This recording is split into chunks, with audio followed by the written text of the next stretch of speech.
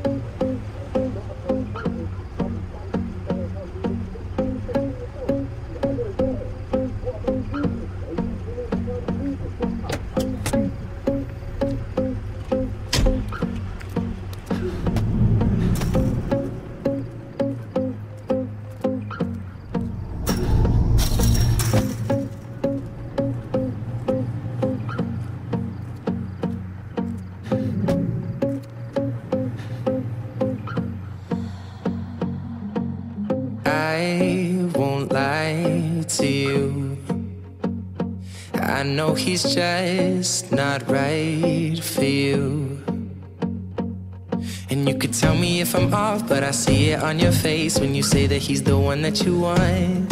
And you're spending all your time in this wrong situation, and anytime you want it to stop.